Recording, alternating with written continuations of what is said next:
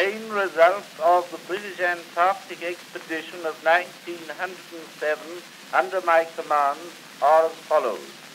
We reached a point within 97 geographical miles of the South Pole. The only thing that stopped us from reaching the actual point was the lack of 50 pounds of food.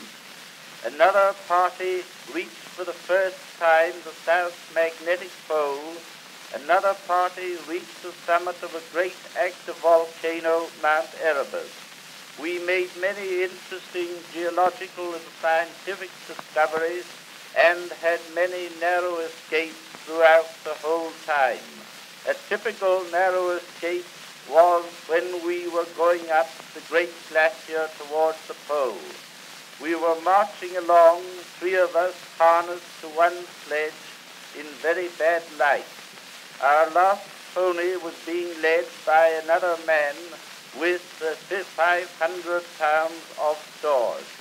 All of a sudden, we heard a shout of help from the man behind. We looked round and saw him supporting himself by his elbows on the edge of a chasm. There was no sign of the pony, and the sledge was jammed with its bow in the crevasse. We rushed back and helped the man out, and then hauled the sledge out. Then we lay down to have a look, but nothing but a black gulf lay below. The pony may have fallen a thousand or a thousand five hundred feet. Anyhow, he'd gone. What had happened was this.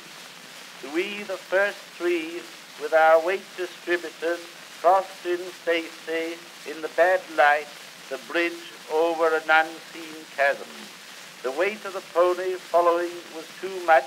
It crashed through, but the swingle tree of the sledge snapped, and that saved the sledge.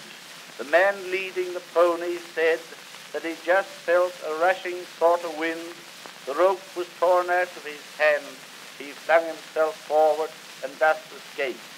After this, we four men had uh, a thousand pounds to pull, and we were unable to pull the whole load at once, so we had to relay. That is, we hauled half our load for a mile, then we walked back a mile, and then we hauled the other half up. So for every mile we gained to the south, we had to cover three to do it. And slowly we arose up the largest and the longest glacier in the world, some days spending 12 hours doing three miles, other times spending nearly half the day hauling each sledge up by means of the alpine rope.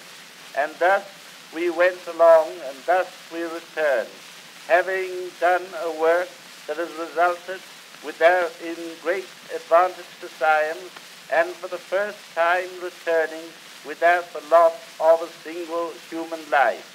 And throughout all this, I was helped by a party of men who were regardless of themselves and only thinking of the good of the expedition.